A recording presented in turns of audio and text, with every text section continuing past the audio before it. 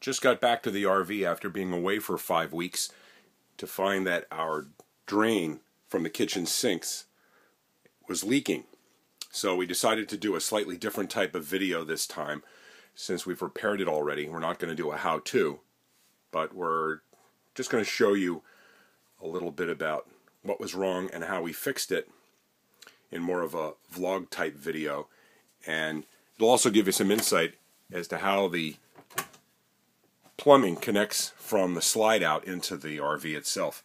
So this is what was wrong. This uh, drain pipe that comes from the sinks was flexing over and over again every time the slide goes in and out and it cracked the seal at one end.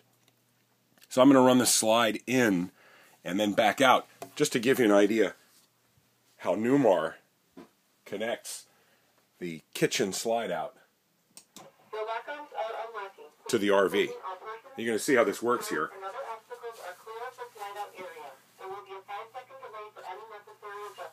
Now the access panel is off right now, so we can see the plumbing exposed. And as the slide begins to move in,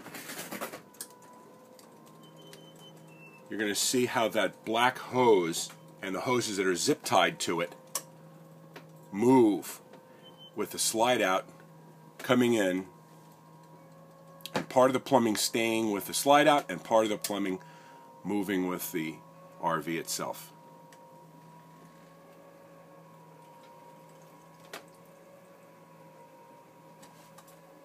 So this flexing that you're seeing in that big black tube is what caused this problem.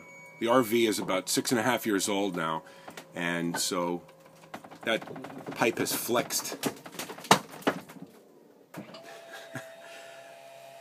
That's what old slide outs sound like too.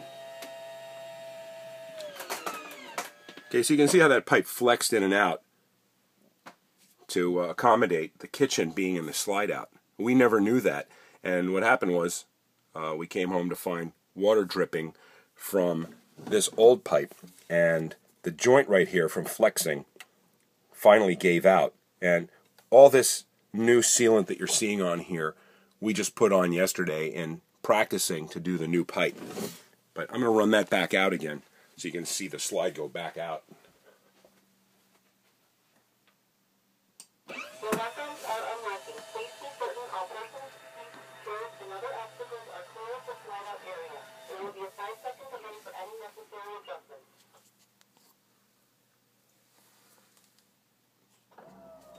I apologize if this video is a little shaky. I'm doing this on the iPhone.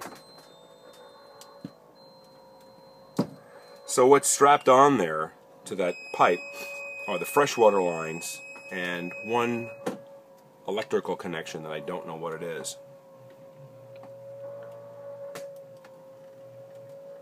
So we never knew how it was that this, the drain line from the sinks connected from the slide out into the RV. Now we know.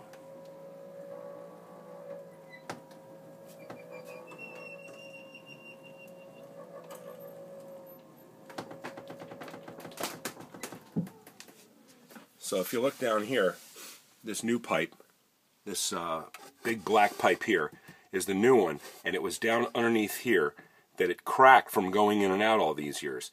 Now we also found that one of the water lines had a drip to it that we couldn't stop, so we replaced the line with this braided stainless steel cable, this uh, stainless steel hose.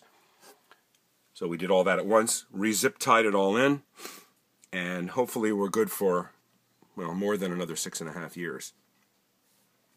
But that's just to give you a little insight as to one mechanism for connecting a kitchen slide out into the RV.